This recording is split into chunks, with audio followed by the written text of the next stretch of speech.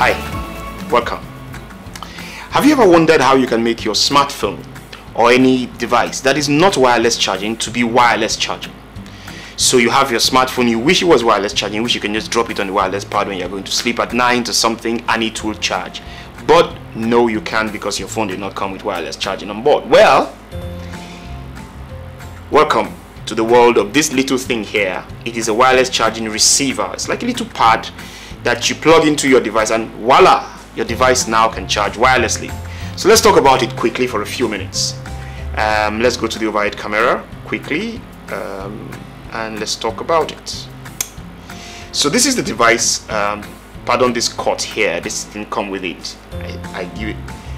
I gave it a good slice by myself. Uh, this is because I wanted to make it fit into my own device. So we're going to talk about that briefly, but let's go to the Amazon page for this device and let me just show you what it is. So this is called the Nillkin uh, Qi receiver. This is the USB-C one, this one here that I have, but as you can see from here you can you can select between lightning and uh, USB-C and micro USB and you can select between long and short so that's a function of the length of the stem here. Um, if the long works for your device or not depending if you have a tall device or you have a short device you have to be sure what works for you. This costs um, 19.99 but as you can see right here on Amazon as I'm showing you currently let me zoom it for you there is a deal going on where it's going for 11.89 which is about 8.1 dollars off. So yeah if you want to buy it it's a good time to buy it on Amazon. Um, I'll leave a link below. I don't have an affiliate link, but it's just a normal link. Please buy it if you like it. Um, so this is very slim and you just plug it into the charging port of your device if it's uh, USB-C or wireless or micro USB and you, put, you just sit it on the pad and then it works so um, just show you a few pictures here yeah that's how it sits at the back of your phone so you have to know if you're using the short stem or the long stem you can see the long stem or the short stem.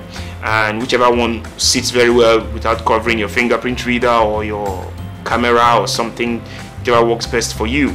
I use the Surface Duo 2 and I tell you if you want it for the Surface Duo 2 you have to buy USB-C short. Not long short. So if you have a US uh, a Surface Duo or Surface Duo 2 you want to buy the short. So let me go back into the camera here and bring in my wireless charger I just did a video where I talked about this. This this is the Anker 3-in-1 uh, charging station or docking station, so you can charge your phone, your true wireless earbud as wireless charging, and your smartwatch, Apple or non-Apple. If it's non-Apple, you have to adapt it a bit, but so you can just push this up and charge. So I talked about this in a separate video. Welcome to that one. So this right here is my Surface Duo. Now Surface Duo and Surface Duo 2 are not wireless charging. I see I put a pretty skin on it. I like it. This is from SopiGuard.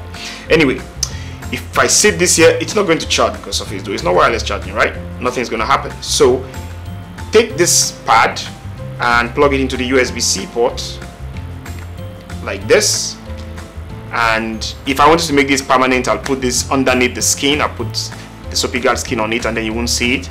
And I did that before actually. And then you sit it on the charger and voila, if you can see, the light it's gone off now. It's wireless charging. It's charging. Um, so you can make your surface duo 2 or any device to be wireless charging if you like.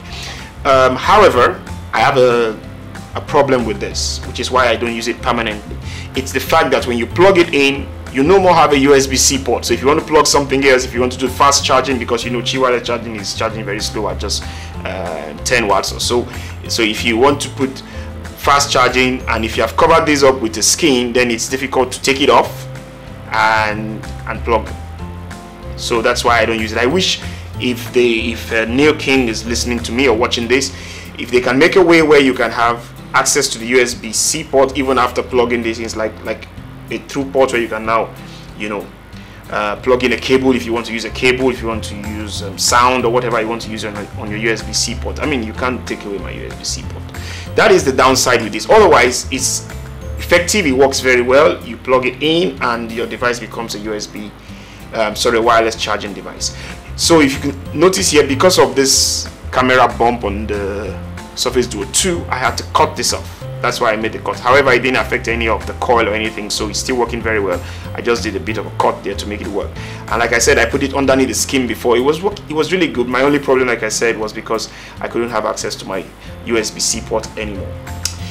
So that is the Nillkin uh, Qi wireless receiver the USB-C or anyone you want like I said it comes in long and short. If you want it you can buy it. I'll leave a link down below and then you can make your device wireless charging. So you can go to bed at night and just drop it on your wireless charging pad and it is charging. So if you can see that you can see the light is charging.